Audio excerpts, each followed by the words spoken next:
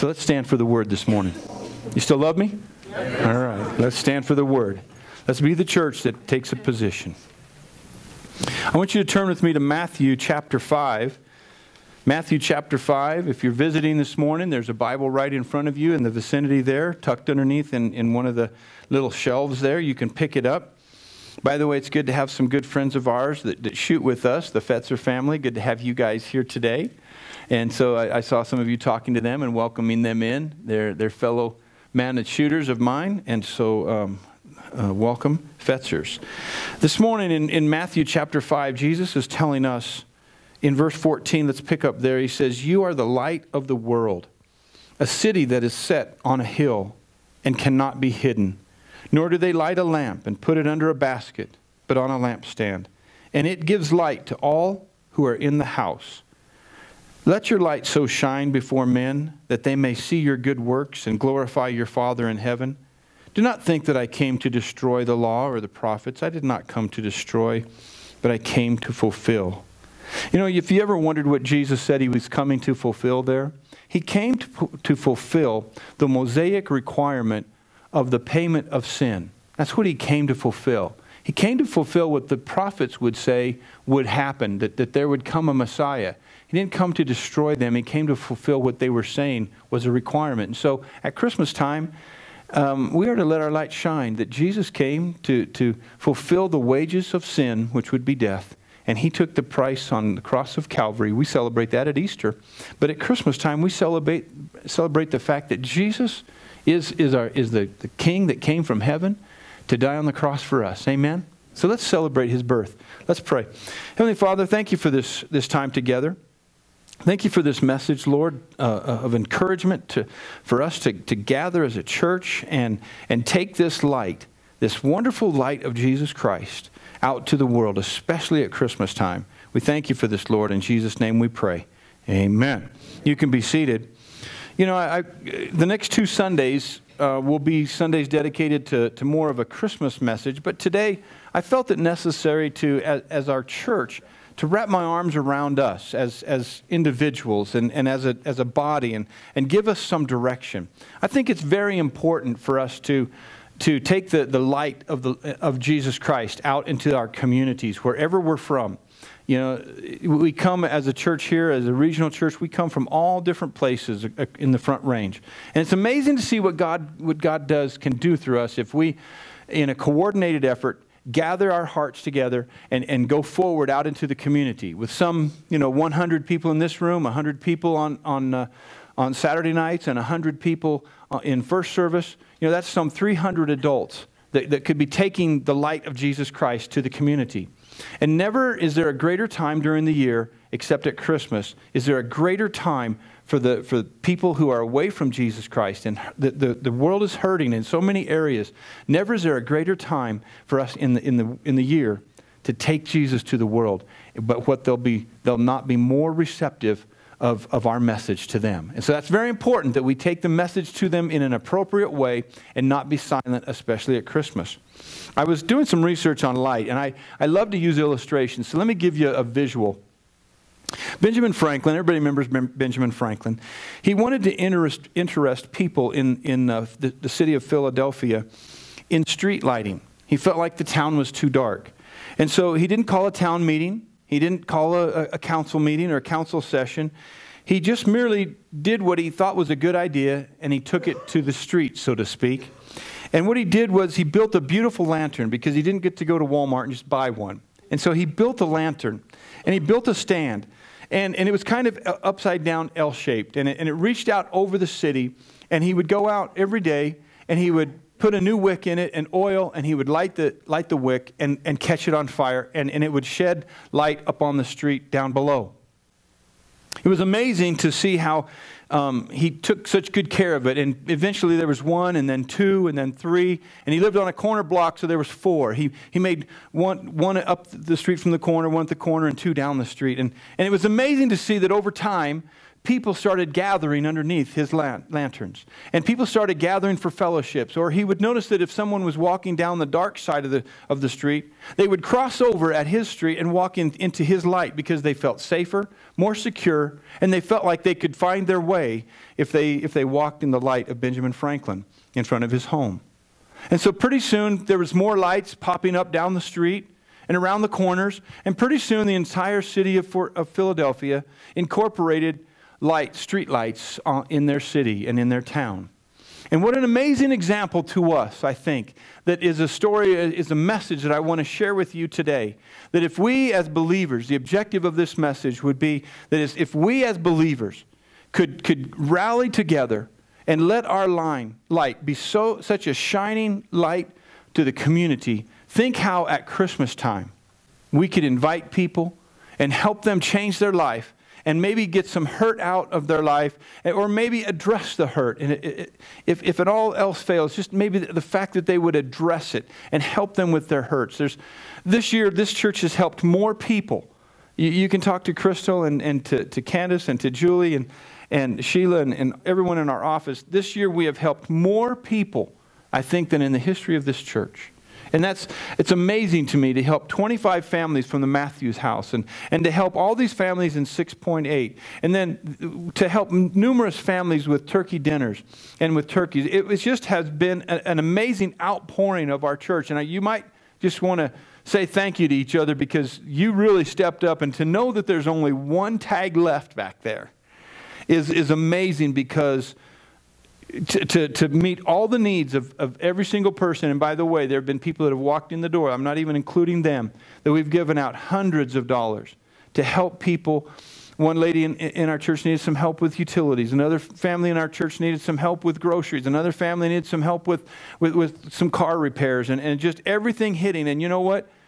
I'd rather be, have it out there than in, sitting in our savings account. Amen? Because it does no good in our savings account. Out in people's hands is where it's going to do good. So keep that light shining. You know, if you need help, ask for help. If you, if you can help, keep your light shining and help other people. Amen? And so what we learn here from this scripture is pretty powerful. You know, light, the, the nature of light is important for us to understand. Light comes from, from a, a, photon that is created. A photon is emitted and, and it has electrons and protons. And, and when that, th those atoms begin to move, as it's coming from an emitter called a photon emitter, it, it begins to, to, to change. The, the electron slows down and it creates a light for some reason. I, I don't know everything about it. And, and I'm not going to show you how less I, how much little, little I do know about it to, to talk too much about it. But I did find that, that this, this photon emitter is, is, is emitting this electricity. And like in a light bulb, for instance, there's a filament there. And because it's in a vacuum with no oxygen in it, there's no combustion. But it gets heated up enough to where it creates, it gets so hot, yet it doesn't combust, that it creates a light and it creates a very bright light. And if the filament is new, then it's going to tra transfer that, that electricity across it. Excuse me.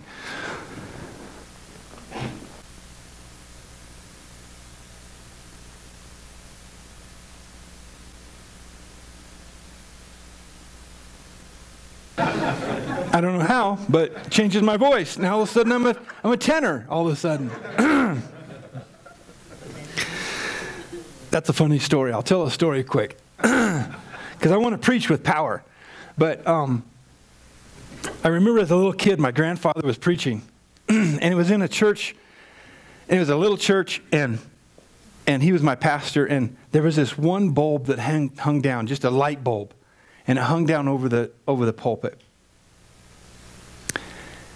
And it's in the summertime, and this miller moth is flying around it.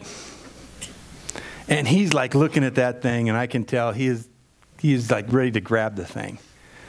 And he gets so fired up, he's like hollering and he's like getting on it, man. He's preaching the fire. And that crazy Miller went right into his mouth. I mean, flew right in there, and he didn't miss a beat. He goes, and then he says, Fixed that thing, didn't I? man, I tell you what. I got my voice back, so I'm good to go now.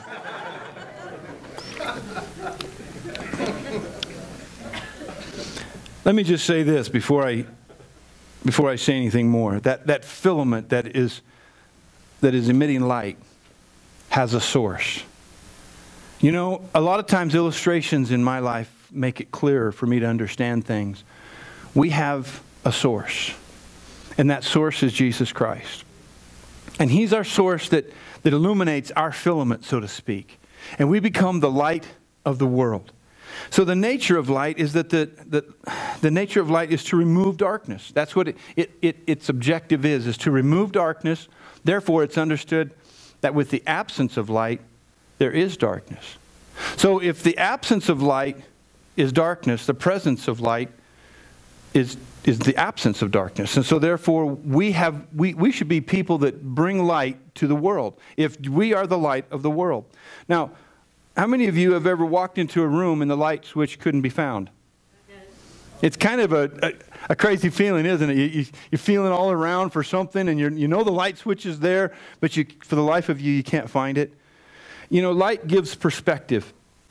It gives perspective to the human eye. The human eye needs light. It, it shines in and it, and it goes into an imaging processor, and then that goes to our brain that we begin to see what that light is shining in. If there is no light, it's very difficult to see, isn't it?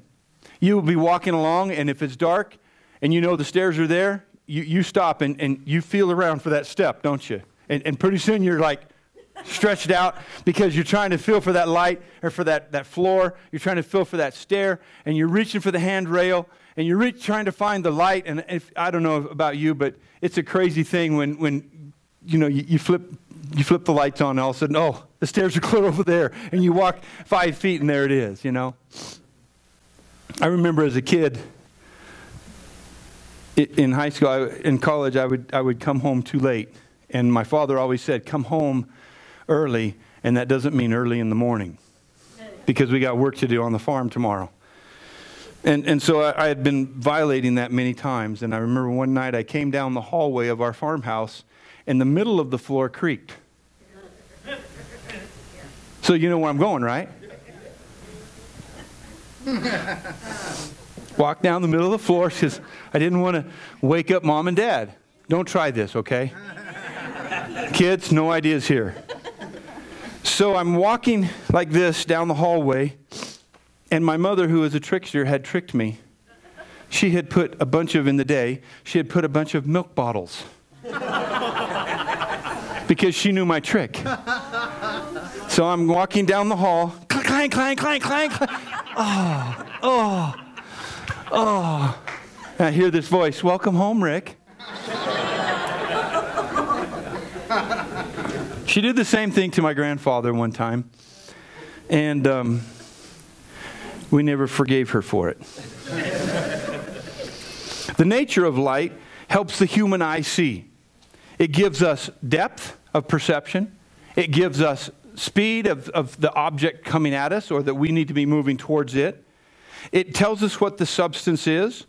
If we bump into something and we, then we look at it, we're like, oh, I must have misjudged where I was walking, but we can see it and we won't bump into it the next time. But in darkness, we don't see objects coming at us. And if you know, there is a certain sense about us that when we are about to run into a cabinet or something that in a dark room, you, you kind of just at the last second, you kind of feel the ambience coming off of it? Well, if that light was on, you would see it and you would have avoided it. And that's what light does for us. It helps us judge heat and cool. We can see that if something's glowing, not to touch it. We understand that if it's got frost on it, it's frozen. We understand those things by sight. So light gives us perception. Say that with me. Ready? Light gives us perception. Now, as we walk through this message, I want you to know that light has also a speed to it. Light is fast. Light travels at the rate of 670,616,629 miles per hour. So, let me give you some, uh, some, some relevance to that. With the speed of light, the moon is 1.2 seconds away. So, while I just said that, you could have traveled to the moon. And by, the, by me saying this, you could have come back. And now you could have gone up and back again by the speed of light. Isn't that fast? The sun is a little bit different story, but it only takes 16 minutes for a bolt of, of, of light to get to the sun and back. 16 minutes. You can travel across this galaxy, ga- galaxy or galaxy, we also call it. You can travel across the galaxy in about 40 days with the speed of light. Isn't that amazing? We have a big galaxy, and light is fast, but it's not that fast. But light is pretty fast. Amen? As my son would say, it makes fast look slow. Okay? So light is fast. Light removes darkness. And in the Christian realm, when it, re- when it removes darkness, that means that get a load of this it reveals spiritual danger. That's why the light of Jesus came to the world, is to reveal spiritual danger in our lives so that we'll know where to place our foot.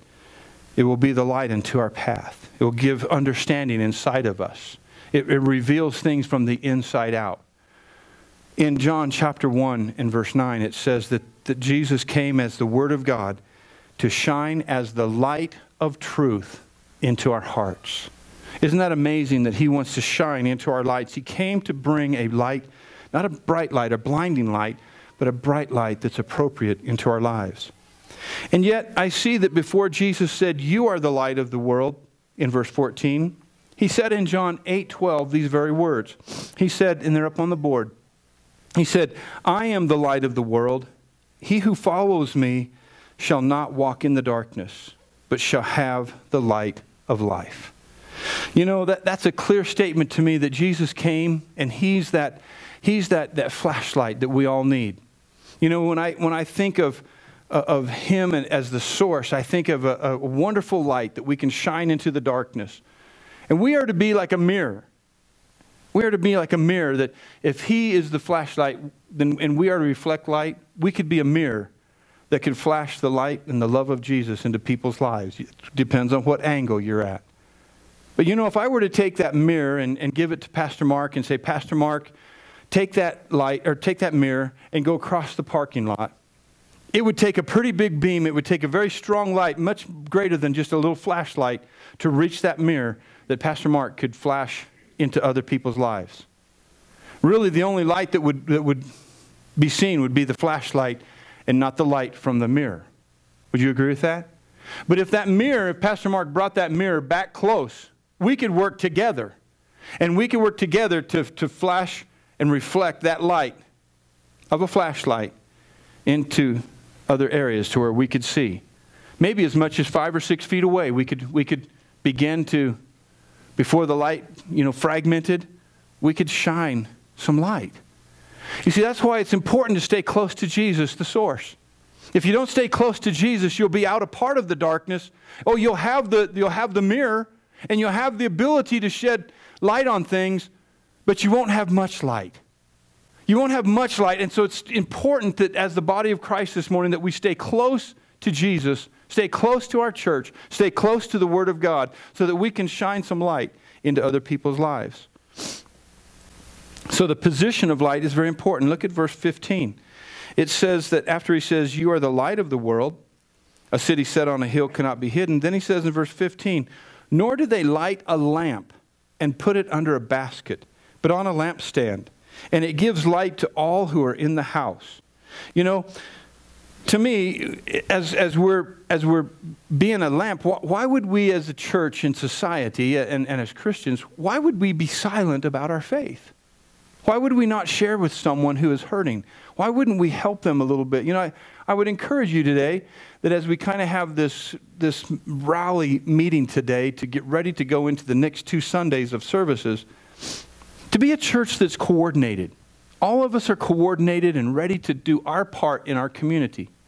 You know, I, I, can just give you an illustration of, of what has worked in the past for me. Is if when I used to work at at a, at a nuclear weapons plant, I would go to the office, and, and there would always there would be hundreds of people in the office there that worked for me, and and as as they were having a, a rough day, it kind of spread to everybody else. You know, you know I'm talking about that that person that just kind of ugh, it just ruins it for everybody. And, and but but me and my jovial dumb self would walk in and say, "Hey, how are you doing? How can I help you today? Is there something I can do? It seems like you're a little bit down today." Would there be something that, that I could do for you? And, and you know, there's, if there's one thing that seems to be a neutral area for everybody, it's for us to say, can I help you with something? Can I lift you up a little bit? You know, could, could, would there be a time, would you allow me to pray for you? That might be a little intrusive for some people, but it's okay to say, Is it okay if I pray for you? And they might, they, they might think you mean on your own, away from here, that might, you might not want to embarrass them, and that's okay. But at least you've begun to shed that light into someone's life that you are close to, that says you're close to Jesus. It doesn't say we're perfect. It doesn't say we, we never sin. It doesn't say that we just have everything working because how many of us Christians know it doesn't always work, right? It doesn't work for us. But we have that thing called repentance. We have that thing called, Lord, forgive me. We have that thing called, hey, I love you enough to care about you and reach out to you. Let me tell you, an act of kindness in someone's life over these holidays will give you entrance to invite them to church. It will give you entrance to invite them someplace where they can hear a message. You know, you're not the Savior, you're the reflector. Amen? Remember that you're the reflector and you can reflect Jesus Christ. So the position of light is important. We're a city set on a hill. We're a, we're a, a light sitting on a lampstand, not, not put behind the shelf and covered up and only brought out when it's popular. But how about being that light even when it's not popular? Like maybe even the, the topic that, you know, the world is okay with abortion, but should the church be? I don't think we should. I think we should stand against it. And we should help those that have had them and, and let them know because their, their heart is just broken when they figure out what they have done. And we need to be there for them as a church. Amen? The radiance of light is very important. In verse 16, look what it says. He says, Let your light so shine before men that they may see your good works and glorify your Father in heaven. I think people want to see a sermon before they hear one. Amen? I, I, think you can really speak into people's lives if you'll live it before they hear it. Amen? And, and then they'll say things like, I, I knew you were a Christian. I, I just knew that because of, there's just something about you. That's what they should say about us as Christians. Amen? They should say that about us because we should be the people that, that are always positive. We should be the ones that are uplifting and encouraging. And when we're not, we should recognize it on the inside and say, Lord, help me. Help me to overcome this because I'm negatively affecting people. Help me to be that positive person with a positive tone in my voice. See, it, this doesn't mean because we have a position to do it that we walk up to people and tell them they're going to hell unless they turn their life over to Jesus. But essentially, what we're doing is we're saying, let me help you make wise decisions by introducing you to Jesus, who is the light. And when the word begins to work in their life, oh my goodness, I remember the first time my pastor encouraged me to read Ephesians chapter 1. And I was in Bible school, 33 years old. And, and he was he's like, Rick, if you're going to make it, you're going to have to learn who you are in Christ. You're going to have to figure out this thing that's in, on the inside is greater than that which is on, in the world on the outside. And I would encourage you, Ephesians chapter 1, 2, and 3, 4, 5, and 6. Powerful book that's short and concise and tells you who you are in Christ Jesus. It tells you what, what Christ has done for you on the cross of Calvary, how he found us before we, we even he founded us before we were even created, and He had it in His heart to love us before the foundations of the world. Isn't that an amazing message? That He would love us before we even knew Him or knew that our sin could separate us from God. And so when my pastor told me, he was like, Rick, you're going to have to really get this grounded in your heart of who you are in Christ. I think those of you that have been in this church very long, you would say, that's what pastor teaches every week, is who we are in Christ. Who we are how strong we can be in Christ Jesus. We can overcome anything, anything of our past in Christ Jesus if we're strong enough, if we shed enough light on the circumstances. You know, in this verse, in the next verse, in verse 16, it says, Let your light. And I, I love the word there that, and I, and I kind of work on the words a little bit, but he uses in three times, he uses the word your, the possessive noun of your. It's possessing. That means that we, we own it, and what we do with it is up to us. Number one, he says this He says, Let your light so shine before men. So we are called because we own the light that He has given to us. We own what we do. We're responsible. When I say you own it, you're responsible for it. That, so personally possess your light. In other words, you are, are called to let your light shine. To be that person who is willing to say, hey, I love you. Can I help you with something? Can I, can I do something for you? There's, there's many, many ways to possess your light and to share Jesus Christ. Number two, personally take action to share your light. Look what he says. He says that they may see your good works. And lastly, personally take time to glorify the Father in front of the world. In other words, he says, glorify your Father in heaven. There's nothing wrong. I mean, I just want to say, as your pastor, as, a coach in this community, just, I just say to you, it's okay for you to openly proclaim your love of Jesus Christ. It's okay to do that. If, if, if, it needed to be said to be okay, then as your pastor, I say it's okay. Don't be shy just because the schools and everybody's pushing back and saying, you, you know, don't. That doesn't mean that we don't just still go ahead and, and share Jesus Christ to willing hearts and open hearts. Amen? Don't be ashamed to, or, or afraid to confess the Lord. And, and, you know, there's nothing wrong with inviting someone to church and saying, come worship with us. They, they may not know what worship means, but I know we live in a, in a generation where every word has to be per, you know, just perfectly selected. But there's nothing wrong with saying, Would you join me for worship? Let's go and let's worship and celebrate Christmas. Let's find out about Christmas. I, I think it's okay to just go back to some roots that we all grew up with and just say, Would you come to church with me? Would you come and worship with me? And so, as you do that, don't be afraid to, to like next week, we'll have some touch cards available we call touch cards, and, and we'll, we'll put them in everybody's hands. If you want one or some, you can take them and invite your friends, invite your, your family, invite people that you know, maybe even that person that's hard to get along with at work. Go ahead and reach out to them and be that person that says, hey, come join us for, for worship. We'd love to have you come to River of Life and join us as we worship God. Listen, before I, I close this message, you, you know my heart. It, it's not it can't be about having a thousand person church that we spread the gospel. It has to be about building strong people, strong hearts, amen? Strong Christians who can go through difficult times, because how many of you know we do, amen? Just because we have Jesus in our life doesn't mean that we never go through difficult times. And so, with that said, this is not to build a big church. We're, we're a church of, I don't know, four, 450 people. Saturday night services has grown us by about 100 people. Isn't that amazing? For the first night, we had 100 people there. God is doing something there on Saturday nights at the AMP. But let me just tell you, church, if we do that and it's just a mediocre message, the Bible talks about lukewarm water. He says, I'll spew it out of my mouth. Amen? Let's be a church that keeps our lamp lit that keeps our light shining brightly. Let's be that church. Let's be a people that says, I'm going to shine my light. There's nothing wrong also with, you know, going all out for God. This week, you know, after after football season, the we had a good season. We went to the championship, but after that, the, the principal said, Can you coach basketball another year? So I coached basketball another year. And, and you know, football players don't sometimes make good basketball players. you know what I mean?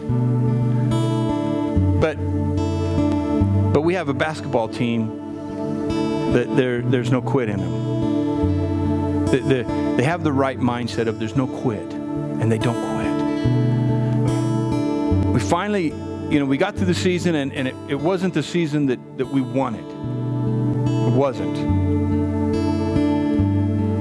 That's behind us now. We have to play what we have left. And you know, John Wooden once said the hardest thing to do is to beat the same team twice.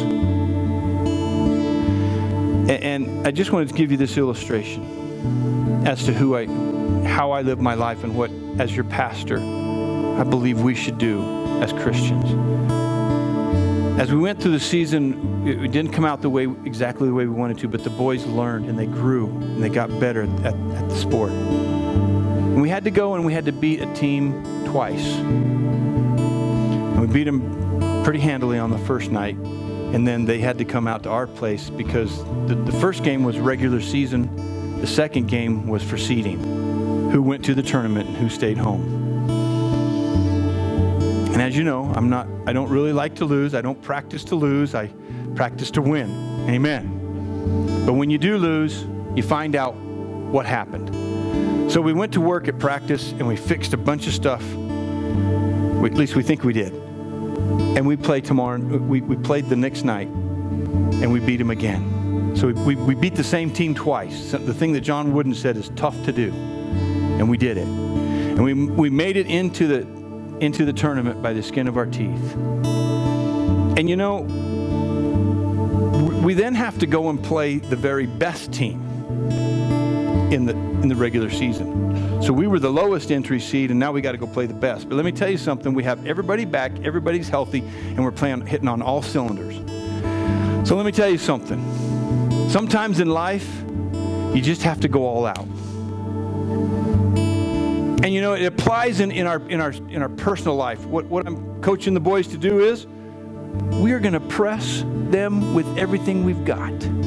We're going to play tough. We're going to move hard. We're going to, we're going to get after them. And I know that Christianity isn't a basketball game, but there comes a time in a season like Christmas where, you know, the light of Jesus Christ is, is brightly shining. And we need to run in that light. We need to get out there and, and push the darkness back and let people know when they come in these doors that they are so welcome of all walks of life. Every single background, every single person is welcome to come through those doors and be a part of our services. No matter what they've done in life, no matter where they've been, it's not our job to judge them, it's our job to forgive. Amen? It's our job to love them because the life that we save might be the neighbor that we once talked to a couple weeks ago. It might be that person that we tried to give a touch card to, and guess what? Out of the blue, they show up, and you're like, wow, I didn't think you were coming. And here they are. And they come and they find Jesus as their personal Lord and Savior. And then they have the responsibility to allow the light shine and to help them make those decisions in the darkness. If they, you give them a light, oh, now I can see which way to go. I can see how to handle to work in my marriage. I can see how to handle my finances. I can see all these things. Now I know. And it's all because you were able to reach out to them and just love them, invite them to church, invite them to find Jesus Christ as their Lord and Savior. Amen. Praise God. Let's all stand and let's let's close with a word of prayer.